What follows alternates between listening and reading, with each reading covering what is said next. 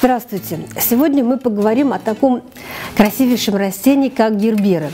Многие знакомы с герберой по букетам, потому что это срезочное растение, и вот эти вот прекрасные соцветия можно увидеть в цветочных магазинах, из них делают прекрасные букеты. Но и дома в горшке довольно-таки несложно вырастить это растение. А семена герберы часто можно увидеть в цветочных магазинах, но есть одно но. Растение многолетнее, а при нашей зиме оно не перезимует ни при каких условиях, ни с укрытием, ни без укрытия. То есть это растение можно на лето в горшке высаживать, в сад выставлять, а на зиму обязательно убирать домой, потому что первые же заморозки убьет листву вот этого э, растения. Растение гербера продается в цветочных магазинах, в горшках. И продается уже в цветущем виде вот такие пышные. Очень часто, принеся домой герберу, через какое-то время мы начинаем наблюдать, что растение теряет свой внешний вид и перестает цвести, и листья становятся какие-то некрасивые. В чем причина? Причина в том, что гербера требовательны к уходу растения. Во-первых, чтобы гербера цвела, нужно обязательно очень яркое освещение. Гербера – это растение южного окна.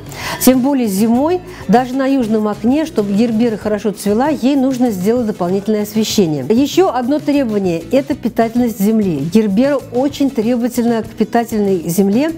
И когда вы принесли ее из магазина, лучше всего, даже несмотря на то, что она цветет, перевалкой пересадить в чуть-чуть больший горшок и землю взять для роз и гербер, потому что более питательного грунта, чем грунт для роз, ну, наверное, в продаже вы не найдете. И через две недели, когда растение укоренится, начинать сразу же подкормки. И подкармливаем, подкармливаем растения удобрениями для роз, удобрений, где больше всего питательных веществ. Гербера имеет нежные листья, которые любят э, насекомые, вредители на наших подоконниках. Поэтому постоянно осматриваем растения. И э, можно даже делать профилактические опрыскивания таким препаратом, например, как фитовир. Можно обойтись и без этих опрыскиваний. Сразу же в горшок помещаем препарат «Доктор 8 стрел». Он защитит растения от большинства комнатных вредителей. А для того, чтобы обеспечить подкормку и защитить растения от комнатных вредителей, можно использовать вот такие палочки удобрительные, которые содержат в себе и препараты от насекомых.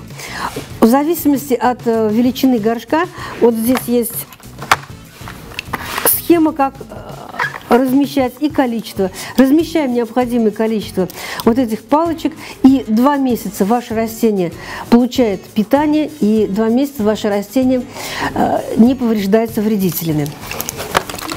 И еще одно условие успешного выращивания герберы – это полив. Гербера очень такая известная водохлебка. Малейшее пересыхание субстрата приводит к увяданию листьев, и они опадают.